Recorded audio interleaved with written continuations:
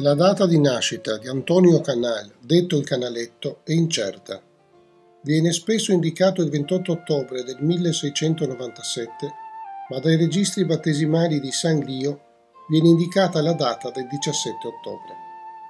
Antonio proviene da una famiglia di artisti. Il padre Bernardo ed il fratello Cristoforo erano pittori di scenografia.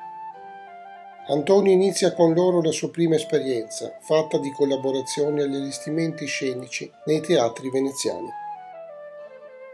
Nel 1771 lo Zanetti così riferirà del nostro pittore.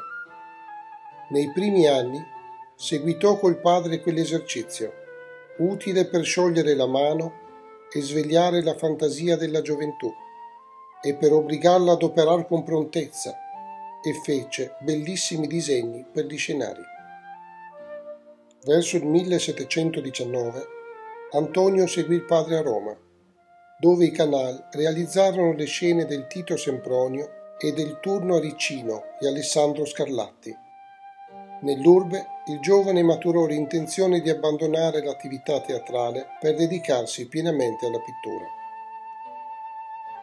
Appena tornato a Venezia, dove figura nella fraglia del 1720, v'è tutta una serie di vedute di soggetto romano e di altre propriamente ideate, caratterizzate da una tensione chiaroscurale molto accentuata, che si differenziava dalla limpida intonazione vanvitediana. Due di queste presentano grandiose rovine, suggestivamente impaginate con gusto scenografico alla bibbiena, ma calate in una drammatica partitura luminosa, inchiostrata d'ombra densa e affocata, attentissima al dato naturale, chiaramente preromantica, sulle tracce dei pensieri di Salvator Rosa e soprattutto di Marco Ricci.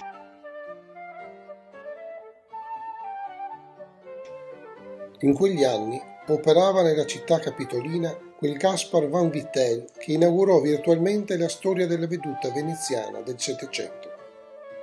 Rientrato in laguna, Canaletto iniziò un'intensa attività artistica che lo condusse in breve tempo a realizzare in gran numero quelle Venezie per cui ancora oggi è famoso.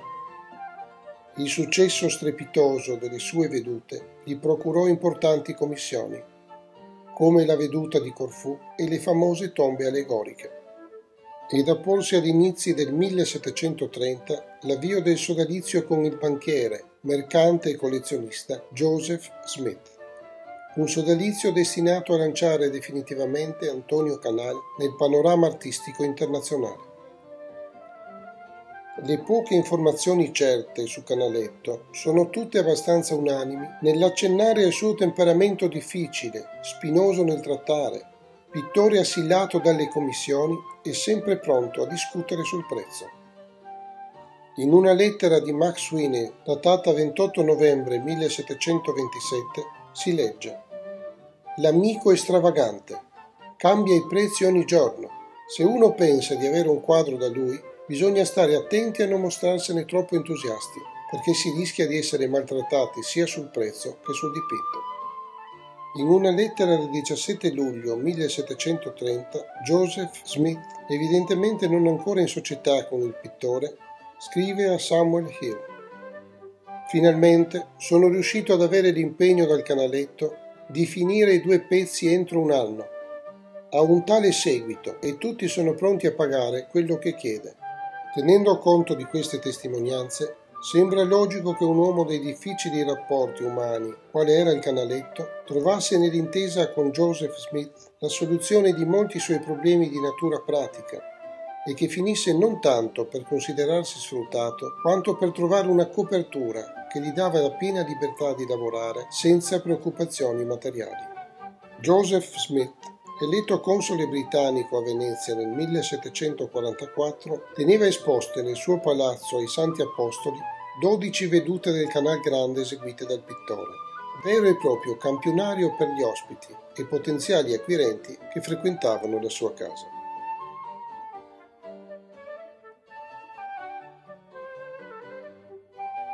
A scopo prettamente promozionale, Antonio Visentini fu incaricato di inciderle, assieme agli altri due dipinti raffiguranti, la regata in Canal Grande e il ritorno del Bucintoro al Molo il giorno dell'ascensione.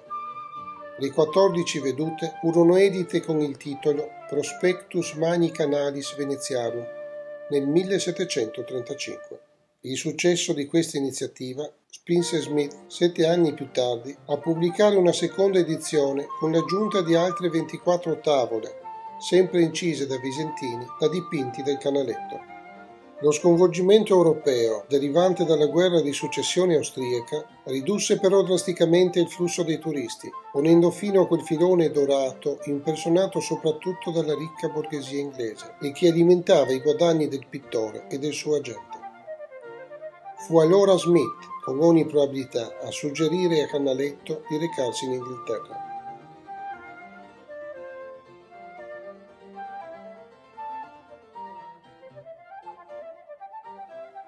Nel maggio del 1746, all'età di 49 anni, con alcune lettere di presentazione e di raccomandazione del console, Canaletto giunse a Londra. Malgrado tale altalocata protezione, il soggiorno londinese non deve essere stato per il pittore veneziano molto semplice, anche per i difficili rapporti con gli artisti locali. Questi, infatti, cercarono di screditarlo, diffondendo la voce che egli non fosse il vero Canaletto, quanto piuttosto suo nipote, quel Bernardo Bellotto, che nel 1747 aveva a sua volta abbandonato Venezia. Canaletto reagì alla provocazione inserendo un annuncio su un giornale locale ed invitando gli amatori d'arte ad andarlo a veder dipingere nel suo studio. Nonostante queste ostilità, Canaletto a Londra ebbe numerose commissioni e della sua permanenza in Inghilterra restano una cinquantina di grandi vedute, alcune delle quali di elevatissima qualità.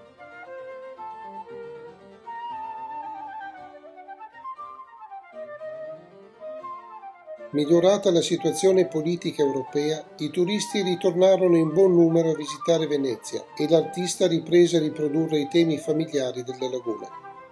Nel 1763, a seguito del decesso di tre membri, Giuseppe Camerata, Antonio Guardi e Giorgio Giacoboni, l'Accademia di Pittura e Scultura di Venezia provvide all'elezione di soci destinati a sostituirli.